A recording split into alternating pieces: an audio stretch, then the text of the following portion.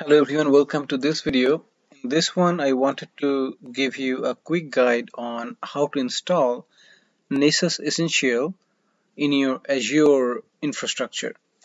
Okay, so this is where I have just installed and took me less than five minutes and I just wanted to show you how to get to this this point uh, if you have a Azure subscription with you. If you do not have one, just go ahead and get started with a free account and once you have that account just log in to your Azure uh, portal. And once you're logged in just go to the search but search bar over here and just search for Nessus okay? If you search for Nessus from the marketplace you will see that you have a Tenable core Nessus is available to you. Just click on that one. And it is going to open up the Tenable core Nessus BYOL that uh, ready for you to be installed okay so there are a whole bunch of things that you can do. The easiest way to install the Tenable Core Nessus is to is to go with the default create button. Uh, and if you look at they have different plan options, okay, uh, user information support and uh, uh overview. Okay, so overview if you read you would know that Nessus is one of the most popular vulnerability management solution uh, there are more than 1 million users and it is the world's most widely deployed vulnerability configuration and compliance assessment product.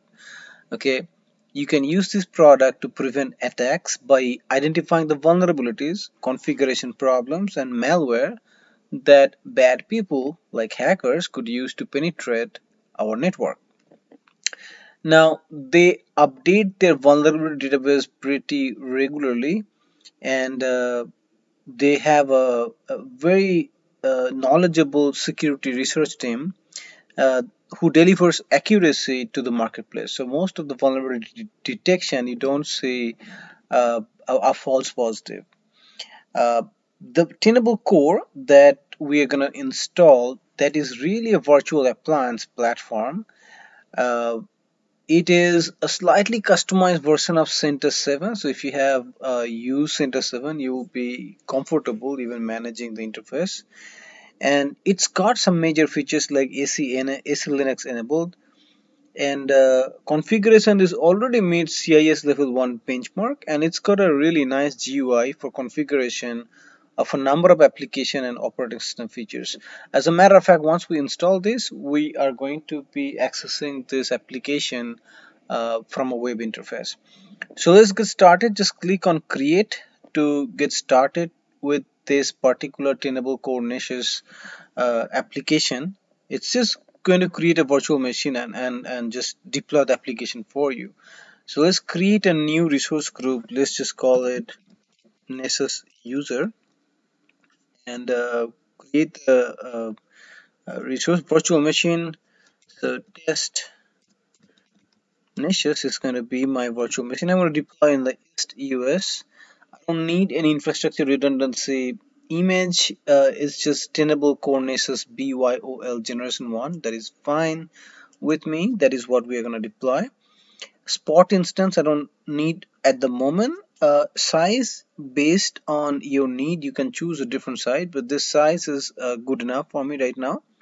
Uh, DS1 V2 with one virtual CPU and 3.5 gigs of memory is good enough. Uh, password based authentication I'm gonna use for this one. I'm just gonna use student as my username. And uh, a secure password and repeat your secure password. Okay so once you have that just go through the next and uh, you don't really need to change too much. You can just go ahead and use your uh, defaults for the rest of them. It is going to ask you for your phone number uh, before uh, this, validation is passed. So I already have provided this uh, phone numbers if, if you have not provided your validation is likely fail and you'll just go ahead and put a valid phone number in there and your you know the validation will be successful. At this time you just hit on create and that's pretty much it. So that you have deployed a Nessus scanner uh, within your environment just in few clicks. And you can look at the status of your deployment by click this notification icon right here. Or you can look right in this window uh, what is going on. There should be things uh, that will uh, that will get deployed and stuff like that. Like over here uh, we have the IP address got created the NSG got created the virtual network got created and then here's the uh, network something else that's got created and it's now most likely creating the virtual machine itself which is going to be using all those different resources okay just give a couple minutes over here. Refresh the page if you like. And uh, in a minute I bet you have this machine deployed. And the other thing that you can look look at uh, the resource group. You know the Nessus user is the resource group that we created. And this is the subscription that I'm using for this deployment.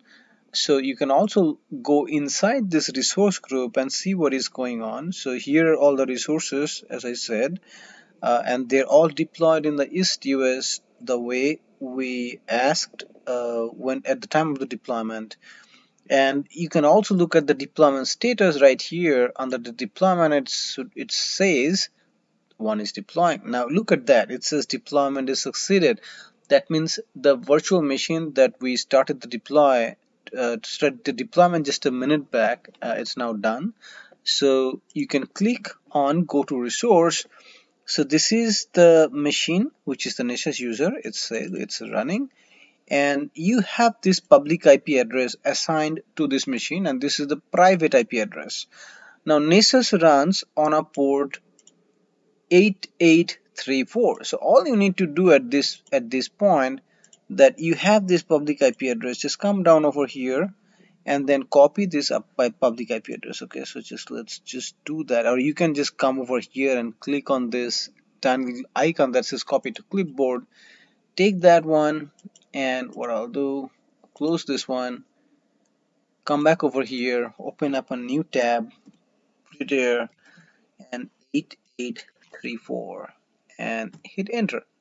And if you look at it it's going to tell you bad request because any traffic that uh, to to that uh, console it has to be a https traffic so just append this https at the beginning and hit enter and voila it says your connection isn't private so don't worry about it just hit advanced and then just continue to your web portal and now there we go. So now you have the Nessus which is deployed and it's running and it's ready to be configured.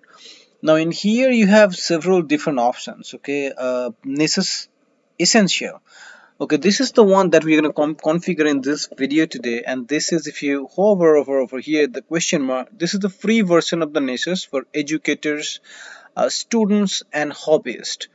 Uh, usually I think they would allow you to scan 16 IP addresses in your home network and uh, you can scan them as many times as you like. For a long time Nessus was the only vulnerability scanner with a free edition uh, among the three uh, between Nessus, Qualys and the Rapid7. Recently even Qualys has come up with a, a community edition and they would also let you scan 16 IP addresses so if you are stuck why 16 I don't know but that's the number uh, both of the products are using uh, if you have a Nessus Professional uh, this is a paid version you can also use this one if you have already licensed from them or you can use the enterprise solution uh, for, for you can use uh, the Nessus manager and you can also have option to configure it as a managed scanner like your scanner to another Tenable solution such as Tenable.io or Tenable.sc.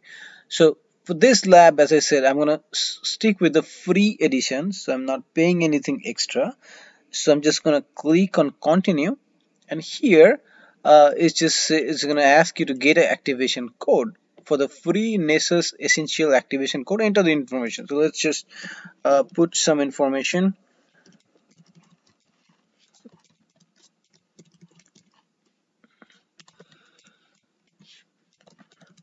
I'm just using one of the one of my accounts and uh, then let's see I have provided and then click on email. Once you have the information ready and it's it has emailed and it says the email was sent successfully so next what you need to do go to your email box and look at that Tenable Nessus essential activation code that's available to me. So here is my Nessus code and look at that it also you can download the Nessus in your local computer and configure it if you like but since I have it already running in our Azure uh, infrastructure so I'm just gonna get the activation code uh, paste it over here and hit continue. Now create a Nessus administrative user account use this username and password to log into Nessus. So it's important that you remember this one I'm going to use the student and my very secure password again.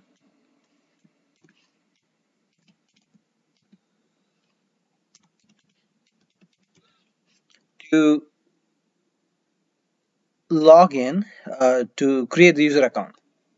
Okay notice that it only asks you to give the password only one time which is to me that's not a good practice you can make a typo when you're typing your password and then when you retry to log in if you mistype something it can cause problem for you. So just be careful and make sure that you know exactly what you have typed.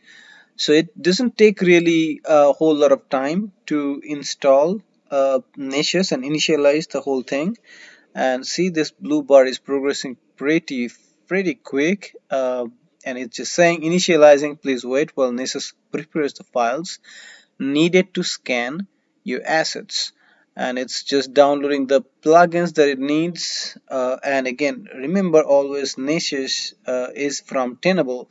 Uh, sometimes people will refer this product as a Tenable product uh, and there is some confusion with the name like Tenable IO, Tenable SC and Nessus.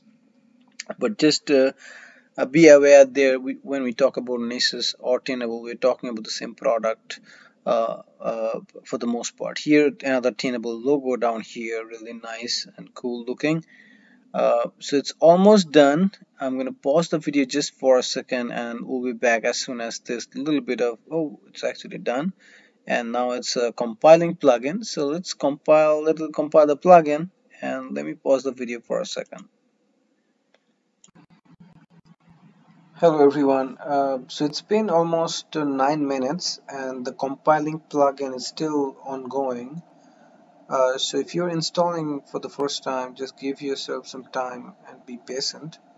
Uh, a lot of time what happens, uh, this scanner, uh, a lot of the scanner tools, they will have to update or download the latest vulnerability information from a central database and that sometimes takes a lot of time so uh, just give yourself some time. I'm going to pause the video again and once this is all done uh, we'll restart the video we'll log into the interface. We are not going to perform any scan in this particular video but we'll make sure that everything is working and it's ready to go. So let me pause for another second. Thank you. Hey guys uh, so it took really 35 minutes almost to get all the plugins updated.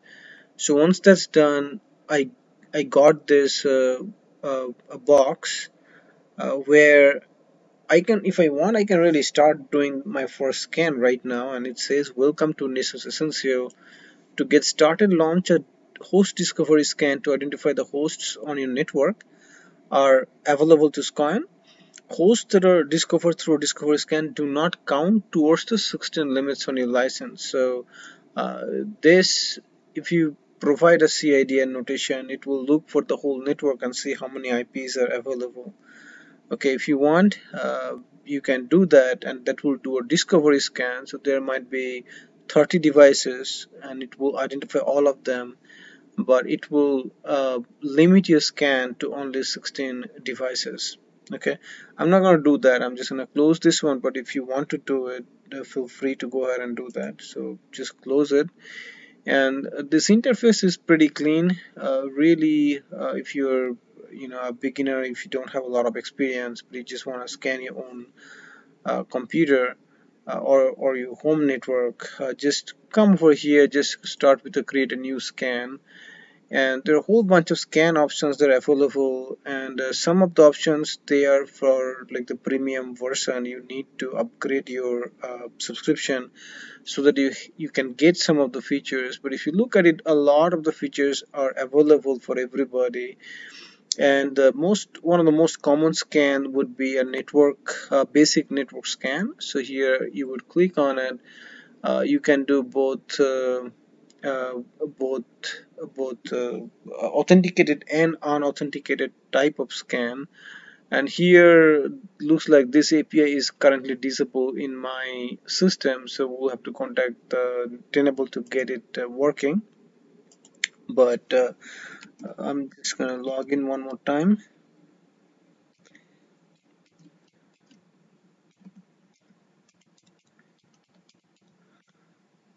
And uh, there is uh, something mismatch web browser is not caching a old version of the HTML UI the web server has completed restarting after an update. The plugin feed is updated I'm just gonna hit uh, next. Uh, come back in. Um, scanning is not really the goal for this particular lab. So this is basically uh, the interface. Everything is available. Uh, really for the scanning you will go there uh, if you if you have done any scan they will all show up under the scan. You can set up your policies and uh, you can uh, define different plugin rules or create a plugin rule. And uh, you have a scanner uh, ready to go for ready to go for uh, performing a host discovery scan basic network scan uh, advanced dynamic scan even web application testing. You can all, you can you can do that as well and there is some very specific scan uh, for the very well-known vulnerabilities like the Spectre meltdown and the WannaCry ransomware scans that are also available uh, with a button with a click of a button. Uh, with that uh, I'm gonna gonna stop this video uh, and hopefully uh, you know you have something where you can quickly install the Nessus and get ready for scanning uh, your own network and, and have fun. Thank you for watching this video. If you like this one, uh, subscribe and uh, watch for more videos on Azure and uh, be safe. Thank you. Hey, I uh, just also wanted to mention one thing. I noticed the problem, the API problem. I only have this problem uh, within this Edge browser if I go back to my Google Chrome which I use the most uh, I see no problem with the Nessus going to the scan. So if I go to the scan and this is where we were having the API mismatch problem. So I came back over here click on the basic network scan. Now I have this interface that's available to me. If I want I can perform a scan. And here you can do test scan uh, description you put something to get uh, if I want to scan my own machine I can always do localhost and I can do save or I can also do a scan and here uh, you can just uh, hit uh, launch to launch the scan. And the scan would uh, run which usually doesn't take a whole lot and I'm just doing my local machine. Is not going over the network or anything and you will have your uh, results back uh, very very quickly. So as the scan is running as the vulnerability is discovered you know you will see results over here. And it's also telling you only 5% of the scan is now completed. So you can click on it at any point and kind of uh, take a look at and these are informational uh, uh, findings. These are really not a vulnerability. Just like most other scanners they also have the critical, high, medium, low, and informational type of vulnerabilities that uh, uh, that are reported. And again, this is a CentOS 7 based machine. It's already following the uh, CIS uh, level 1 benchmark. So it should be pretty secure. Uh, plus, it's running the Nessus scanner. It better be secure. Alright, with that, I want to close the video. Uh, good luck playing with the Nessus and have fun. Thank you.